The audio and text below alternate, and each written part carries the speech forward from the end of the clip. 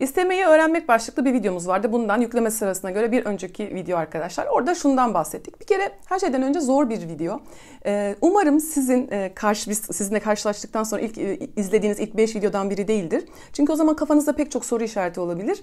O yüzden bir tekrar olması açısından aramıza yeni gelen arkadaşlarıma hep hem bir hoş geldin diyeyim hem de bir kere daha orada anlaşılmayan yerleri tekrar e, etmek için bu videoyu hazırlıyorum. Hoş geldiniz, sefalar getirdiniz.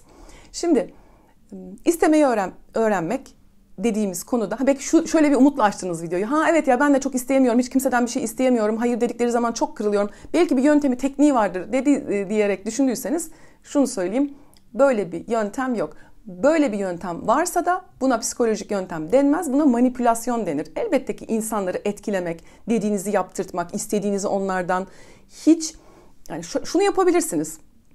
İstediğinizi alırsınız, o kişiyi manipüle edersiniz ve zerre kadar da incinmezsiniz. Hatta alansız olursunuz ama o kişi kendini size borçlu hisseder filan. Yani bu bunlara biz ikna teknikleri diyebiliriz, manipülasyon teknikleri diyebiliriz. Yani acizliğimi, insan olduğumu ve şu anda yardıma yardıma ihtiyacım var. Bunu kabullenmeden, hani buradaki aciziyeti hissetmeden ya ben bu durumlara düşecek insan mıydım? Ya düştüm, düştüm. Ben ben bu duruma düştüm. Ben bu duruma düştüm. Hasta oldum, düştüm, kaza geçirdim, düştüm, iflas ettim, düştüm. Bir şey oldu yani bir, bir, bir tane bir şey geldi, geldi ve ben bu duruma düştüm. İnsanız. Her duruma düşeriz. Orada da tabii şu söylemlerle ters gelebilir bazı şeyler. Ya ama olur mu canım ya ben kula minnet eylemem. Hani rızkımı veren hüdadır. Kula minnet e, kula mı minnet edeceğiz? Ya tamam. Benim minnetim Allah'a. Buna ters bir şey söylemiyoruz zaten.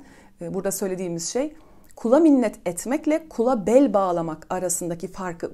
Onu ilk videoda söylemeye çalıştım ama altını bir kere daha çizmek istiyorum arkadaşlar.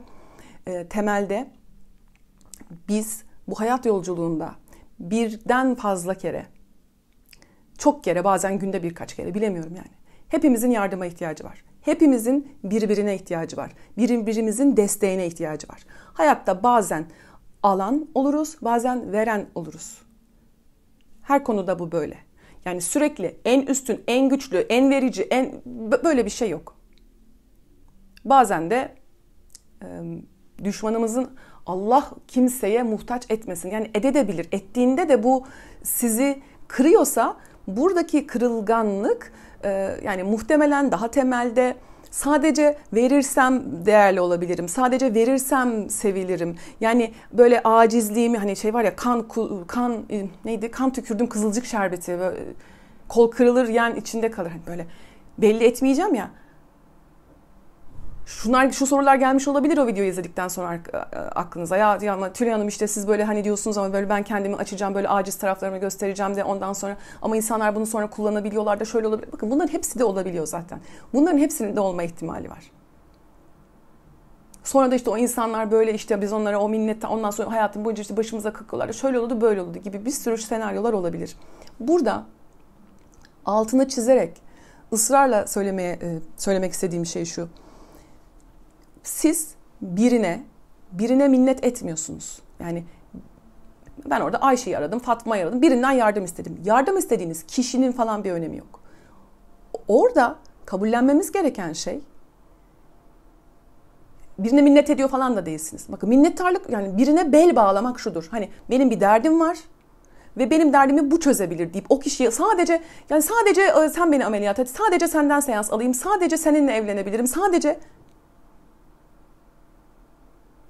bu, bu bir kişiye bağımlı olmak, e, bir kişiye bir kişiye e, taşımadığı güçleri atfetmek, onu böyle ilahlaştırmak e, bu bu değil.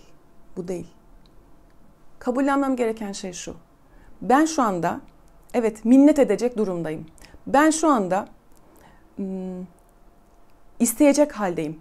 Ben şu anda bu durumdayım ve benim buradan yani şöyle düşünün. Uçuruma düştünüz ve yani biri ip atmadığı sürece oradan çıkamayacaksınız. Ama şimdi bu da diyecek ki bana bir can borcum var. Yani diyebilir. Ne yapacaksınız? Orada hani böyle e, onurlu ve gururlu bir şekilde o çukurun dibinde hani filmlerde falan olur bazı sahnelerde. Düşmanı ip atar. Bunu daha önce de konuşmuştuk. Böyle dizilerden falan örnekler vermiştim. Kibir serisinde bunu detaylı olarak konuşmuştuk arkadaşlar. Ama başka bir başlıkla, başka bir pencereden istemeyi öğrenmek konusu. Onu da dediğim gibi kitaplarda çok sık karşıma çıkınca dedim yani bu istemeyi öğrenmek değil. Yani insan ister zaten. İstememek zor değil. İsteme halini, o hali. O hal var ya, evet ya şu an istemem gerekiyor. Ha, bu hali kabul etmek çok zor. Biz bu hallere mi düşecektik? Ya düştük, düş, hepimiz düşüyoruz. Yani her şekilde başımıza bir şey geliyor. Yani insan insanız ya yani bunlar son derece normal. Elbette e, ha, burada tabii takıntılı bir şekilde sen bana yardım et. Bakın sakat olan şey bu, zararlı olan şey bu. Sadece seninle evlenirsem mutlu olabilirim. Ya hayır o, o edecek yardım. O edecek çünkü ben ona zamanında etmiştim. Ama buradan bin tane kanaldan sana yardım geliyor. Çünkü ben neyi kabul ettim? Aciziyetimi kabul ettim. O halde olduğumu kabul ettim. İçinde bulunduğum hali kabul ettim ben. Ben kimseye minnet etmiyorum. Benim birinden bir beklentim falan da yok. Tabii ki de minnetimiz Allah ama orada Allah da bize yardım elini kulları vasıtasıyla ulaştıracak ya yani değil mi? Hani öyle. bir önceki videoda da bir daha söylediğimiz gibi ben bir kanalla aciziyetimi ifade ettiğimde ve orada egomun olası yaralanmaları arkamdan konuşabilirler. Biz onu kurtardık diyebilirler, şunu diyebilirler, bunu diyebilirler. Hepsini diyebilirler ve bunu göze alıyorum. Hayır deme ihtimallerini de göze alıyorum ama ben bunu göze aldığım anda Allah'ın yardım kapıları sonsuz olasılıklar yeter ki ama şuna takıldığımızda gördün mü bak söyledi videoda da söyledi yardım istedi de işte istedik de gördük günümüzü. İçimde önce benim bu hale girmem lazım. Evet benim buna ihtiyacım var.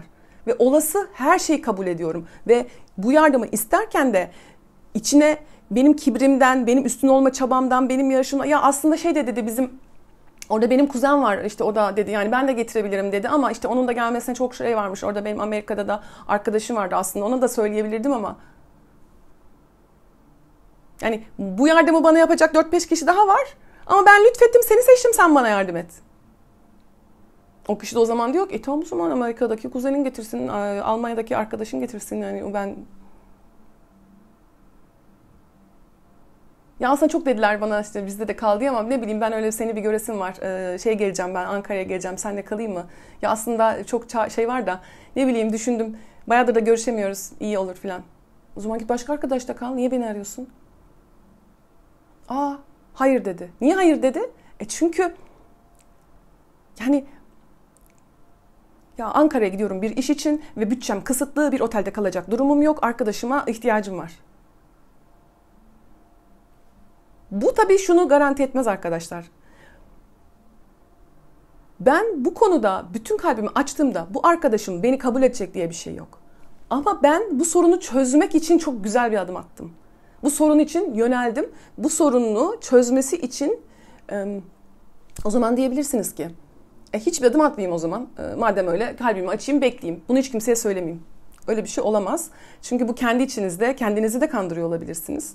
Bunu bir kişiye olsun ifade edebildiğinizde samimiyetinizi de göstermiş olursunuz. Derin konu arkadaşlar. Umarım ilk e, videolarımızdan değildir. Ee, yani burada tabii kafanız çok karıştıysa kibirle ilgili videolar var. Ona bakabilirsiniz. Vicdan serimize bakabilirsiniz.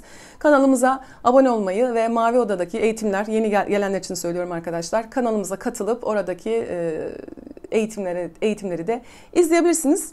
Ee, yanlış anlaşılan yerler varsa da anlaşılmayan ya da bir tekrar olması açısından bunu da eklemek istedim. Yeni videolarda görüşmek üzere. Kendinize iyi bakın. Hoşçakalın.